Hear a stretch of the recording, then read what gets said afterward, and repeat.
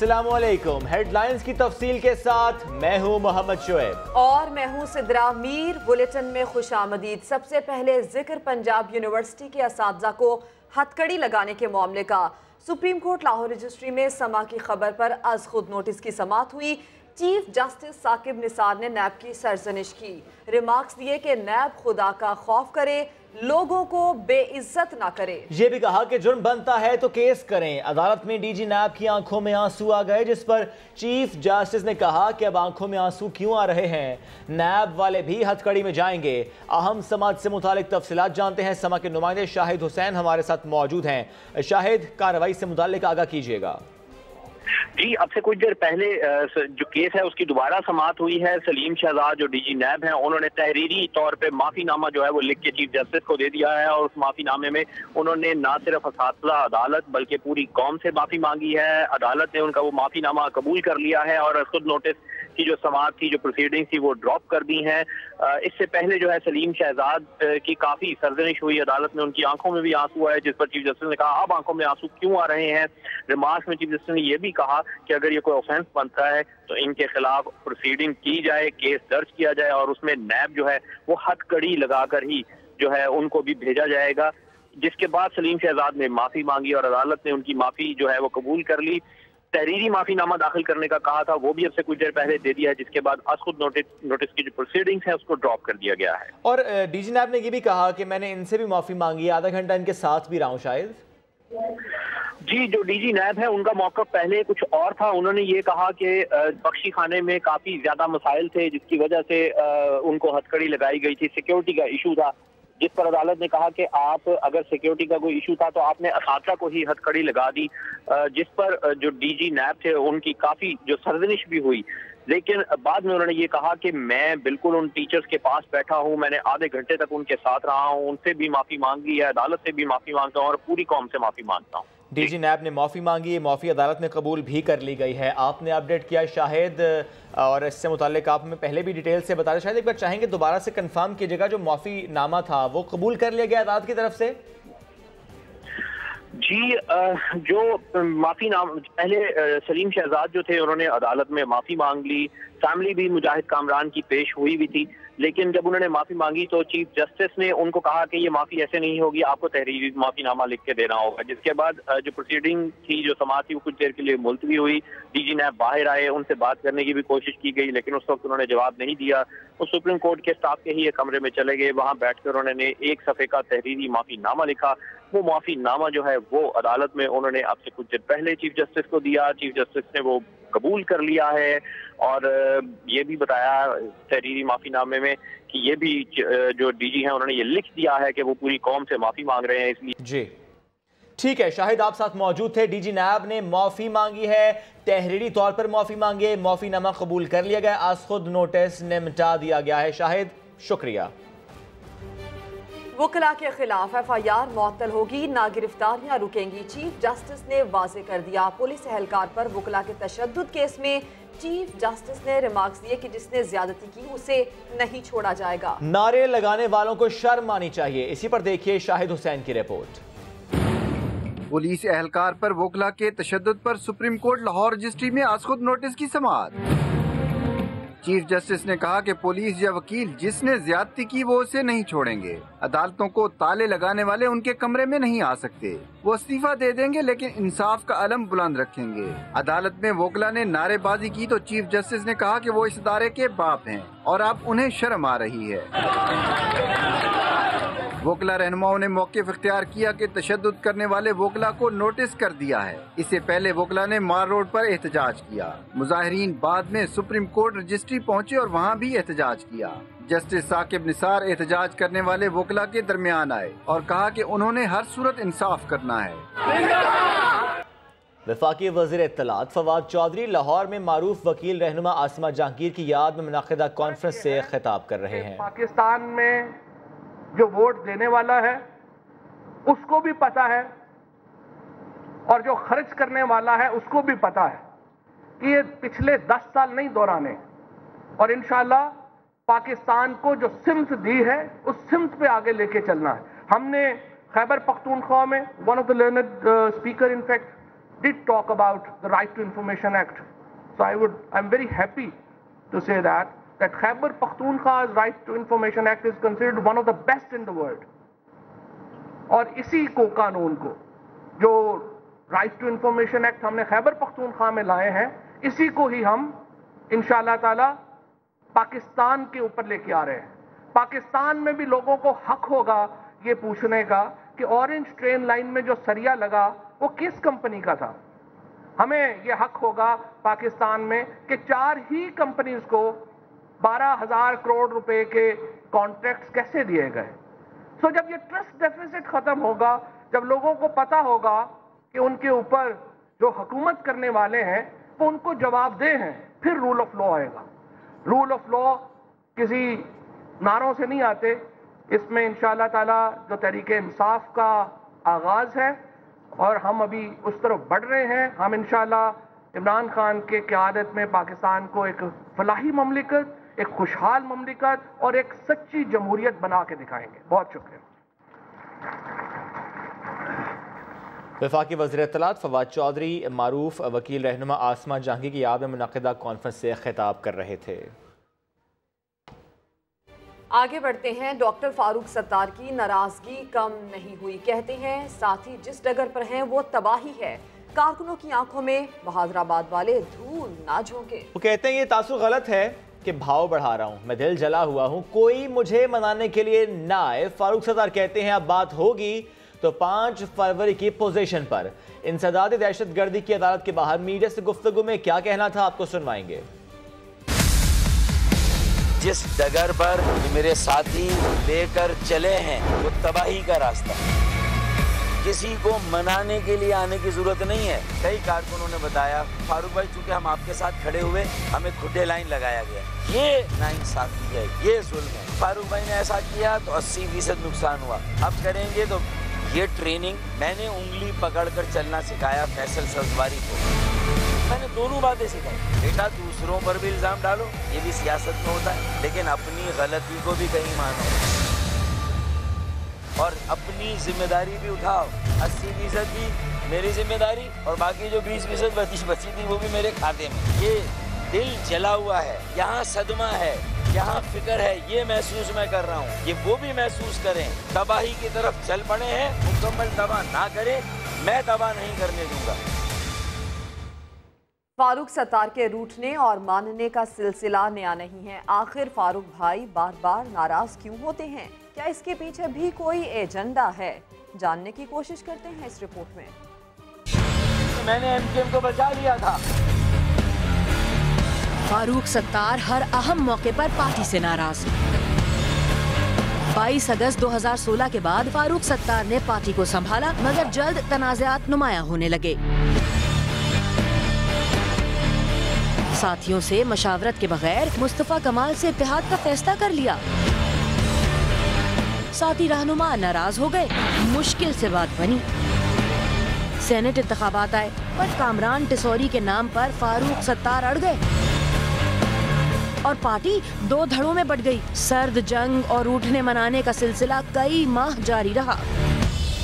عام انتخابات قریب آئے تو انتخابی مہم کی جگہ فاروق بھائی اپنے ہی ساتھیوں سے پارٹی اونرشپ اور عہدے کی قانونی جنگ لڑ رہے تھے۔ عام انتخابات میں مبینہ دھاندلی کے معاملے پر بھی فاروق ستار الگ ہی لائن پر چلتے رہے۔ بہادر آباد گروپ اسلام آباد میں ملاقاتیں کرتا نظر آیا تو فاروق بھائی کراچی میں احتجاج۔ اب ضمنی انتخاب کے موقع سے قبل تازہ ناراضی نے پھر سوال اٹھا دیے ہیں کہ فاروق بھائی آخر کسی سیاسی ایونٹ سے پہلے ہی خفا کیوں ہوتے ہیں؟ مائنڈ سیٹ بدلنا ہوگا پاکستان کو ہرا بھرا اور صاف ستھرا کرنا ہوگا۔ وزیر اعظم عمران خان نے اسلام آباد میں پودا لگا کر اس مہم کا آغاز کر دیا۔ سرسبز و شاداب پاکستان ہو صاف ستھرا پاکستان ہو۔ یہ پیغام لے کر وزیر اعظم عمران خان آج اسلام آباد کے کالج پہنچے۔ کلین اینڈ گرین مہم کا آغاز کیا۔ طلبہ سے بڑی امیدیں ظاہر کی دس ارب درخت لگانے کا اعلان کیا۔ میں نے اسٹوڈنٹس کو بتایا کہ پاکستان میں کوئی کینسر ہاسپٹل نہیں ہے۔ مجھے آپ کی ضرورت ہے آپ میری ٹیم بنیں۔ ہم نے اس ٹیم کا نام عمران ٹائگرز رکھا۔ اب ہم سارے پاکستان میں کیمپین کریں گے انشاءاللہ پانچ سالوں میں۔ ہمارا ٹارگٹ ہے دس ارب درخت۔ عمران خان نے چند طالبات سے مختصر ملاقات کی۔ گلوبل وارمنگ پر لیکچر دیا۔ تو سب کو پتہ ہے کہ درختوں کا کیا کتنی ضرورت ہے پاکستان کی yes, آپ کو پتہ گلوبل وارمنگ کیا ہے؟ عمران خان نے طالبات سے گفتگو کے بعد صحت بخش سرگرمیوں میں حصہ لیا۔ ہاتھ کیسے دھونے چاہیے؟ یہ بھی سمجھایا۔ صدر مملکت ڈاکٹر عارف الوی کراچی میں کلین اینڈ گرین پاکستان مہم کے آغاز کے لیے پہنچے۔ کورنگی کے رہائشی صدر مملکت عارف الوی کو اپنے درمیان دیکھ کر پانی کے مسئلے پر نعرے لگانے لگے۔ اس موقع پر یہ نعرے لگائے گئے کہ پانی دو پانی دو، پانی کی سہولیات فراہم کی جائیں۔ یہ نعرے لگائے گئے جب ڈاکٹر عارف الوی پہنچے۔ ہوا کیا آپ کو دکھاتے ہیں؟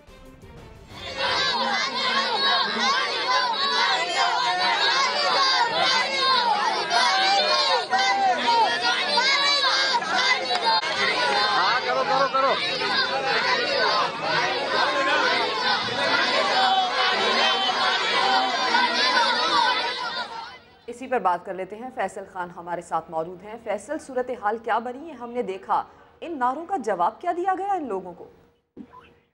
دیکھیں، یہ مکینہ کورنگی کے ناصر کالونی میں یہاں پر جب صدر مملکت پہنچے، آج گرین جو ہے، مہم کا آغاز کرنے کے لیے تو یہ مکین پہنچ گئے کہ گزشتہ کئی سال سے ان کو پانی کی فراہمی معطل ہے، جس کے لیے احتجاج کے لیے پہنچ گئے کہ ان کی فریاد سن لی جائے۔ صدر مملکت کی آمد کے ساتھ یہ مکین پہنچ چکے تھے، جس میں بڑی تعداد بچوں کی تھی اور بوڑھی خواتین تھی۔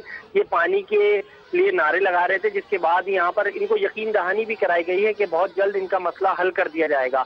صدر مملکت میں دوران خطاب بھی ان کو جواب دیا تھا، جب ان کی جانب سے بہت زیادہ نعرے بازی کی جا رہی تھی، تو صدر مملکت کی جانب سے یقین دہانی بھی کرائی گئی ایک طریقے سے کہ آپ کو پانی کی فراہمی کے لیے جلد سے جلد مسئلہ حل کیا جائے گا۔ جی۔ ٹھیک ہے، صدر مملکت کی جانب سے یقین دہانی کرائی گئی کہ یہاں پر پانی کا مسئلہ حل کیا جائے گا، لیکن جب صدر مملکت یہاں پر پہنچے تو شدید نعرے بازی کی گئی۔ لوگوں کی جانب سے پانی دو پانی دو کے نعرے لگائے گئے۔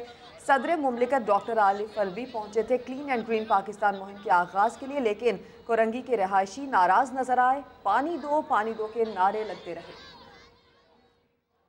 کورنگی کے رہائشی نے پانی کی عدم فراہمی پر نعرے بازی کی تو صدر ڈاکٹر عارف فلوی نے تقریر کے دوران اس مسئلے کی اس اہم مسئلے کے حل کی یقین دہانی کروا دی۔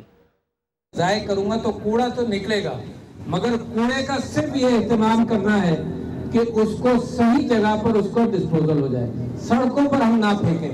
ہم اپنے گھروں پر کسی جگہ پر ہم رکھ لیں۔ آپ کی بھی بات سنوں گا میرے بھائی جو وہاں موجود ہیں۔ مسائل ہیں۔ پانی کے مسائل ہیں میں واقف ہوں ابھی بات سنوں گا آپ کی۔ فکر مت کریں۔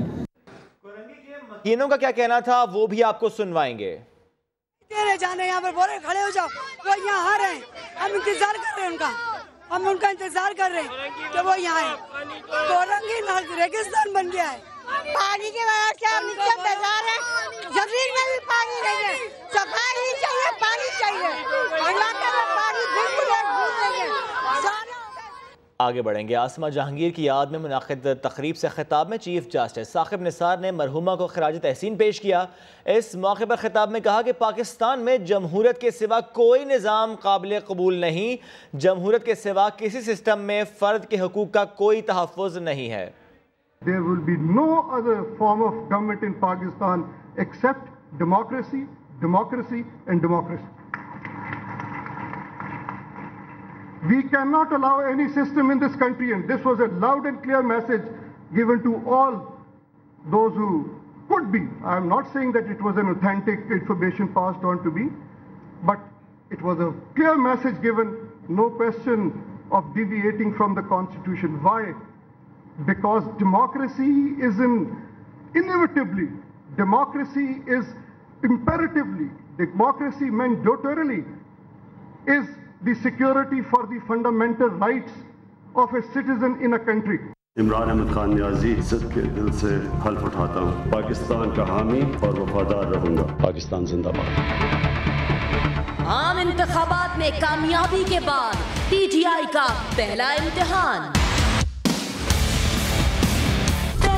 حلقوں میں سجے گا ضمنی انتخابات کا میدان۔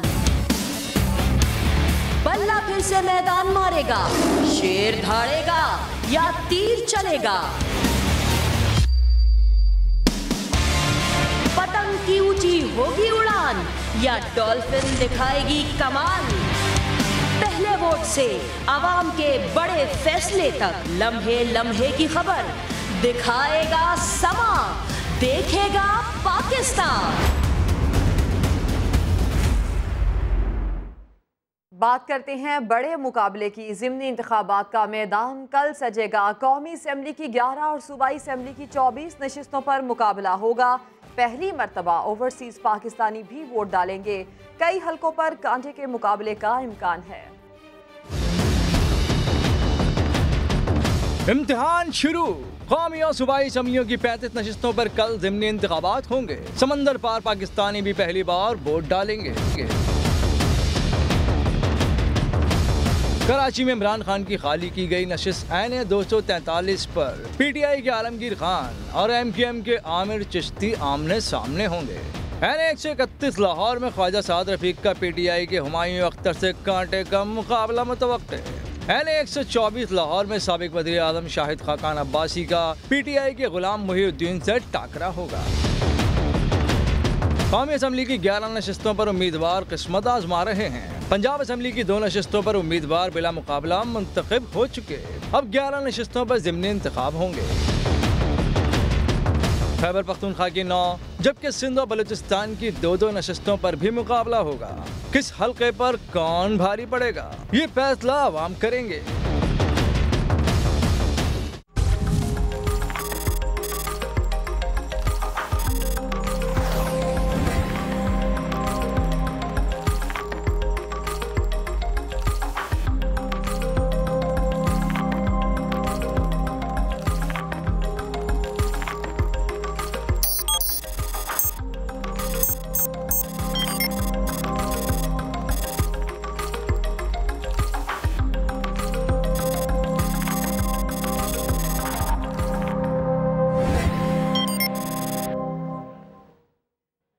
کراچی میں این اے دو سو تینتالیس کا ضمنی انتخاب، کراچی ایکسپو سینٹر سے پریزائڈنگ افسران کو سامان کی ترسیل اس وقت جاری ہے۔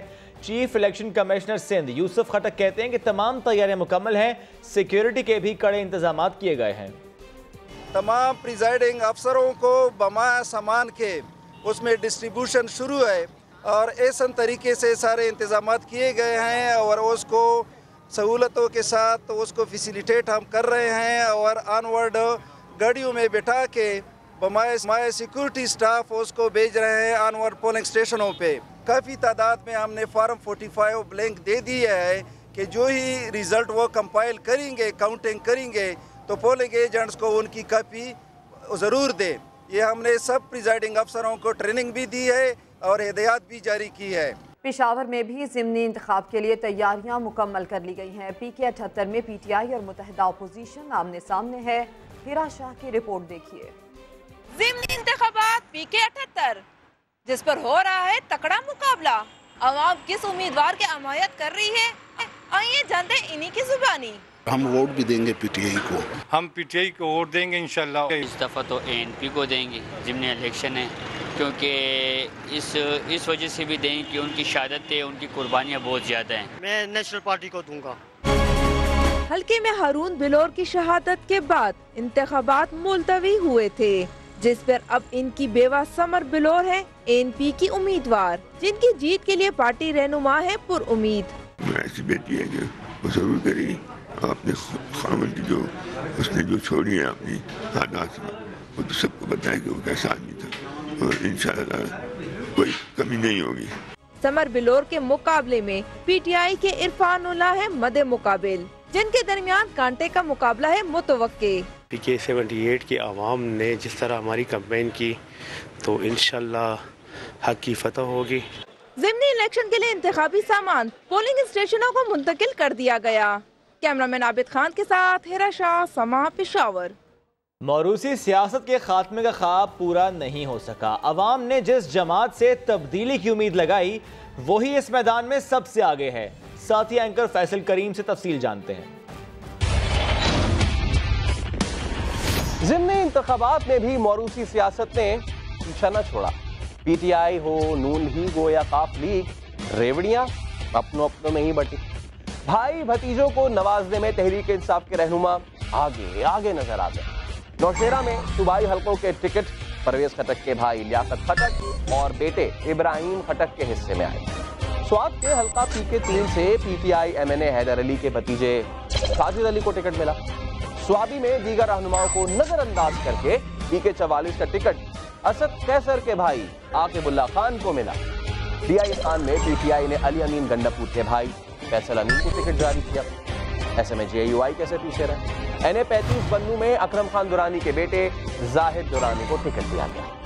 اب راول پنڈی کا رخ کرتے ہیں، یہاں کا حلقہ این اے تریسٹھ ٹیکسلا اور یہاں پی ٹی آئی نے غلام سرور خان کے بیٹے منصور حیات خان کو ٹکٹ دیا۔ اس حلقے میں نون لیگ نے بھی اپنے سابق ایم پی اے عمر فاروق کے بھتیجے کو نوازا ہے۔ این ایس آٹھ راول پنڈی سے تحریک انصاف نے شیخ رشید کے بھتیجے راشد شفیق کو ٹکٹ جاری کیا، جبکہ این اے انہتر گجرات میں پرویز الہی کے صاحبزادے مونس الہی آف اور پی ٹی آئی کا مشترکہ امیدوار بنا دیا گیا، جس پر پی ٹی آئی رہنما افضل گوندن نے بغاوت کر دی ہے اور آزاد الیکشن لڑنے کا اعلان کر دیا۔ بلیٹن میں ابھی نیوز اپ ڈیٹ صدر مملکت عارف الوی کراچی کے علاقے کورنگی پہنچے تو پانی کو ترستے شہری احتجاج کرنے پہنچ گئے مظاہرین کے پانی دو پانی دو کے نعرے۔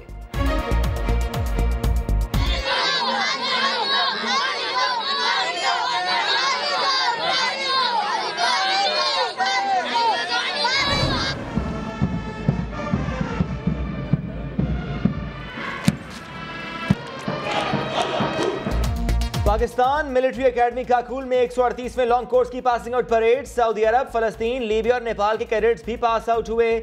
Chairman joint chief of staff committee نے پریڈ کا معائنہ کیا پاس آؤٹ ہونے والے کیڈٹس کو مبارکباد دی۔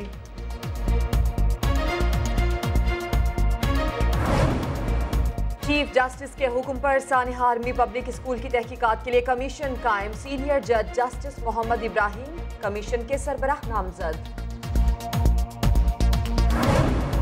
سائیں سرکار خواب غفلت سے بیدار نہ ہوئی۔ مٹھی میں غذائی قلت کے باعث مزید تین بچے جاں بحق رواں ماہ جاں بحق ہونے والے بچوں کی تعداد سترہ ہو گئی۔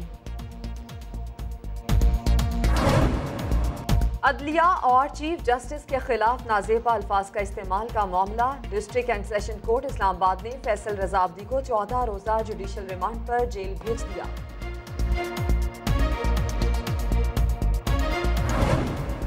اور چیف سلیکٹر انضمام الحق نے قومی ٹیم سے ابودھابی ٹیسٹ جیتنے کی امید لگا لی۔ بولے دبئی ٹیسٹ میں بولرز کو ایک سو چالیس اوورز میں آسٹریلیا کو آؤٹ کرنا چاہیے تھا۔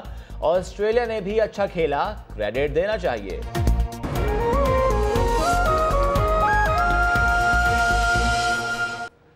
پاکستان ملٹری اکیڈمی کاکول میں ایک سو اڑتیسویں لانگ کورس کی پاسنگ آؤٹ پریڈ ہوئی ہے۔ Chairman joint chief of staff committee نے پریڈ کا معائنہ کیا۔ سعودی عرب فلسطین لیبیا اور نیپال کے کیڈٹس بھی پاس آؤٹ ہوئے۔ اسی بارے میں مزید بات کر لیتے ہیں۔ فخر الرحمان ہمارے ساتھ موجود ہیں۔ فخر بتائیے گا۔ جی ایک سو اٹھتیسویں پاسنگ آؤٹ پریڈ آج پاکستان ملٹری اکیڈمی کاکول میں کی گئی اور اس موقع پر جو چیف گیسٹ تھے، وہ chairman joint staff committee, general Zubair Mahmood Hayat تھے، اور اس میں جنرل زبیر محمود حیات نے جو پاس آؤٹ ہونے والے کیڈٹ تھے، ان سے کتاب میں کہا کہ جو ہمارے سپاہی ہیں، وہ انتہائی دشوار حالات میں بہترین نتائج دے رہے ہیں، اور ان کے اندر وطن سے محبت اور قربانی کا جذبہ جو ہے، وہ اس سے لبریز ہیں۔ یہاں پر میں آپ کو بتا چلوں کہ آج جو پاسنگ آؤٹ پیڈ ہوئی ہے اس میں سعودی عرب نیپال سری لنکا فلسطین اور لیبیا کے بھی پاس آؤٹ ہوئے ہیں۔ فخر آپ نے اپڈیٹ کیا شکریہ۔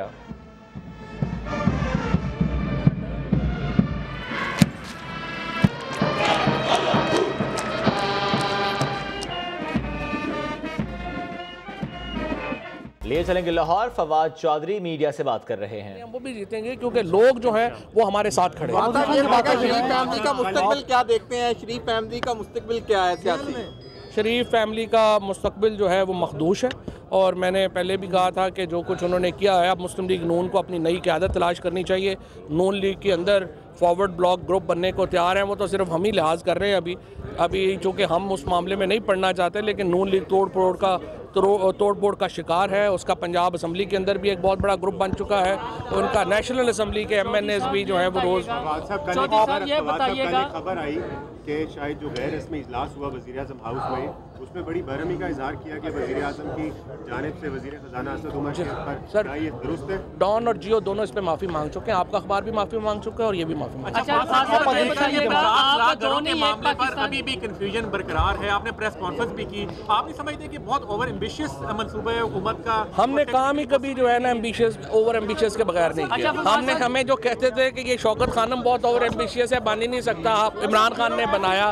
انہوں نے کہا کہ یہ نمل بڑا اوور امبیشیس ملیشیا سے نہیں بن سکتا اور پھر کہتے تھے عمران خان تو وزیراعظم بن ہی نہیں سکتا وہ بھی بنا ہے۔ تو انشاءاللہ تعالی یہ جو پچاس لاکھ گھر ہیں یہ بھی اوور امبیشیس نہیں ہے غریب کو پہلی بار جو ہے وہ انشاءاللہ تعالی اپنا سایہ میسر آئے گا یہ بھی انشاءاللہ تعالی بنا کر آپ دو نہیں ایک پاکستان کی بات کرتے۔ جو بندہ نہیں بات ماننے کا وہ گھر جائے گا۔ بالکل۔ دیکھیں بیوروکریسی میں نے عرض پہلے بھی کیا ہے، میں اب بھی یہ کر رہا ہوں، ایک ایک پولیٹیکل اوورسائٹ ہوتی ہے۔ ہم ریسٹوکریسی میں نہیں ہیں، ہم ڈیموکریسی میں ہیں۔ ہمارے M N As M P As اور صرف ہمارے M N A M P As ہی نہیں جو اپوزیشن کے M N A M P S بھی ہیں وہ منتخب ہو کر آئے ہیں۔ ان تمام کا احترام ضروری ہے۔ بیوروکریسی یا یہاں پہ پیچھے جو شہباز شریف صاحب کا یا نواز شریف کا رواج تھا کہ شہباز شریف اور حمزہ شہباز اور اس کے بعد حکومت ختم اور نواز شریف مریم نواز شریف اور اسحاق ڈار کے بعد حکومت ختم ایسا نہیں ہے۔ ہمارے ایم این ایز اور ایم پی ایز ہمارے لیے بڑے محترم ہیں۔ ان کی جو پالیسیز ہیں ان کا جو ان پٹ ہے وہ لیں گے انشاءاللہ بیوروکریسی کو۔ اچھا، ان کی باتیں مان کے چلنا پڑے گا۔ دو نہیں ایک پاکستان کی بات کرتے ہیں۔ تبدیلی بھی آ چکی ہے۔ راؤ انوار عدالت میں بغیر ہتھ کری کے پیش ہوتا ہے۔ شباز شریف بغیر ہتھ کری کے پیش ہوتا ہے۔ نواز شریف بغیر ہتھ کری کے پیش ہوتا ہے۔ زرداری صاحب بغیر ہتھ کری کے پیش ہوتے ہیں۔ پروفیسرز کو ہتھ کریاں لگائی جاتی ہیں۔ آپ کی حکومت کا موقف سامنے ہمارا سیجے نوٹس ہمارا حکومت کا ہمارا حکومت کا معاملہ نہیں ہے یہ نیب کا معاملہ ہے۔ اگر ہم نوٹس لیں گے تو آپ کہیں گے نیب کو اثر انداز ہو رہے ہیں۔ یا تو آپ لوگ اس طرح کریں۔ یہ مہربانی کریں کہ نیب کو کہے کہ حکومت کے انڈر ہونی چاہیے پھر ہم سے سوال پوچھیں۔ ابھی نیب آزاد ادارہ ہے۔ فواد چودھری کہہ رہے تھے کہ بیوروکریسی کو عوامی نمائندوں کی بات ماننی پڑے گی۔ سندھ ایجوکیشن ورکس میں کرپشن کا انکشاف ہوا ہے۔ انٹی کرپشن نے اسی کروڑ روپے کی کرپشن کی تحقیقات شروع کر دی ہیں۔ مزید بات کریں گے سنجے سادوانی ہمارے ساتھ موجود ہیں۔ سنجے کوئی نام بھی سامنے آئے ہیں جن سے تحقیقات ہوں گی؟ اب دیکھیں اینٹی کرپشن نے ریکارڈ طلب کیا ہے چیف انجینئر کراچی حیدرآباد اور سکھر کو نوٹسز جاری کیے ہیں کہ ہمیں ریکارڈ فراہم کیا جائے۔ ساتھ ہی ساتھ ایم ڈی سیپرا کو بھی ریکارڈ دینے کا کہا گیا ہے۔ ایجوکیشن ورک کے دوران کتنے ترقیاتی منصوبے ایک سال ہوئے؟ کہاں ترقیاتی کام ہوئی؟ کتنا یہ تمام فہرست ہے اینٹی کرپشن نے مانگی ہے۔ کتنے ٹھیکے کس ٹھیکے دار کو آلات کیے؟ جی۔ یہ بھی تفصیل مانگی ہے۔ جب یہ تفصیل بہت شکریہ آپ نے اپڈیٹ کیا۔ گجنوالا کے علاقے جلیل ٹاؤن میں شوہر نے بیوی کو قتل کر دیا۔ ڈیٹیلز لیں گے محسن خالد سے۔ محسن، آگاہ کیجیے گا۔ جی بالکل، یہ رضا نامی شخص ہے جو کہ سعودیا میں مقیم ہے۔ اس کو اپنی بیوی کے کردار پر شک تھا۔ اس نے اسے بے دردی سے گلا دبا کر قتل کیا ہے اور قتل کرنے کے بعد ہنجر سے اپنی بیوی کی لاش پر ٹک کی ہے اور دو بوریوں میں بند کرنے کے بعد نہر میں پھینکنے کے لیے جا رہا تھا کہ پولیس نے اسے روکا اور خون لگا دیکھا بوریوں کو تو اس کو پکڑ لیا جس کے بعد ملزم نے سے جرم کر لیا ہے۔ اس کا کہنا ہے کہ اس نے غیرت کے نام پہ اپنی بیوی ملزم نے اعتراف جرم بھی کر لیا ہے محسن آپ نے اپڈیٹ کیا شکریہ۔ ویلکم بیک بلٹن میں خبریں شامل کریں گے کھیل کی آپ کو بتائیں۔ آسٹریلیا کے خلاف دوسرے ٹیسٹ کے لیے قومی کرکٹ ٹیم نے ابو زیبی میں ڈیرے ڈال لیے۔ پاکستانی سفارت خانے میں کھلاڑیوں کو عشائیہ دیا گیا۔ قومی کرکٹ ٹیم دبئی سے ابو زیبی پہنچی تو پاکستانی سفارت خانے میں ٹیم کے اعزاز میں عشائیے کا اہتمام کیا گیا، جس میں قومی کھلاڑی اور ٹیم مینجمنٹ نے شرکت کی۔ کھلاڑی آج آسٹریلیا کے خلاف دوسرے ٹیسٹ کے لیے تیاریوں کا آغاز کریں گے۔ فیلڈنگ بولنگ اور بیٹنگ کی مشقیں ہوں گی۔ دوسرا ٹیسٹ سولہ اکتوبر سے ابو زیبی میں شروع ہوگا۔ چیف سلیکٹر انضمام الحق نے قومی کرکٹ ٹیم سے ابوظہبی ٹیسٹ جیتنے کی امید لگا لی۔ کہتے ہیں دبئی ٹیسٹ میں بولرز کو ایک سو چالیس اوورز میں آسٹریلیا کو آؤٹ کرنا چاہیے تھا، لیکن آسٹریلیا نے اچھا کھیلا، جس کا کریڈٹ اسے دینا چاہیے۔ ہمارے لڑکوں نے، ساروں نے، سارے بولرز نے بہت ہارڈ ورک کیا، تو آسٹریلیا کو بھی کریڈٹ دینا چاہیے۔ بہت بڑی ٹیم ہے کہ بہت اچھا کھیل لی حالانکہ ہمارے لیے ٹف تھا۔ کہ جی ایک سو چالیس اوور اگر ان وکٹوں پہ میرے خیال میں ہمیں آؤٹ کرنا چاہیے تھا میجر فیکٹر جو ہمارا کی بالر یاسر تھا، اس نے بالکل اینڈ میں آ کے اسٹرائک کیا ہے۔ تو انشاءاللہ اگلے ٹیسٹ میچ میں نا، یاسر کو ہم بہتر فارم میں دیکھیں گے۔ تو انشاءاللہ اللہ سے امید ہے کہ جی فتح ہمیں ملے گی۔ کراچی میں وفاقی وزیر برائے پانی اور وسائل فیصل واؤڈا کا ایکشن، پینے کے پانی اور بجلی کے غیر قانونی کنیکشن کی نشاندہی پر لانڈھی بھینس کالونی کے قریب پلاٹ پر چھاپا مارا ہے۔ مزید بات کریں گے سعود مرتضی، ہمارے ساتھ موجود ہیں۔ سعود، آگاہ کیجیے گا۔ جی بالکل، سندھ حکومت کو تو ہوش نہیں آیا، تو وفاقی وزیر خود یہاں پر جو ہے بھینس کالونی پہنچے ہیں۔ انہوں نے اپنی ٹیم کے ہمراہ یہاں پر چھاپا مارا ہے اور یہاں پر خالی پلاٹ پر جو ہے بجلی اور پانی کے بڑے کنیکشن جو ہے غیر قانونی طور پہ جو لگے ہوئے تھے ان کا انکشاف ہوا ہے جس پر انہوں نے اب یہاں پر وزیر بلدیات سندھ سے بھی رابطہ کیا اور اس کے بعد اسسٹنٹ کمشنر یہاں پر پہنچے ہیں۔ فیصل واڈا کا یہ کہنا ہے کہ اب اس سے تمام کنیکشنز کو جو ہے بند کرایا جائے گا۔ تقریباً اٹھارہ نجی بڑی کمپنیز ہیں جن کو یہ جی۔ پانی فراہم کیا جاتا تھا اور اب ان کے خلاف کاروائی ہوگی اور سعید غنی نے یہ بھی کہا کہ آئندہ کہیں بھی جائیں گے تو ہم آپ کے ساتھ ہوں گے۔ سعود آپ نے اپڈیٹ کیا شکریہ۔ بولٹن سے اتنا ہی ایک بریک کے بعد ہوں گی نیوز ہیڈ لائنز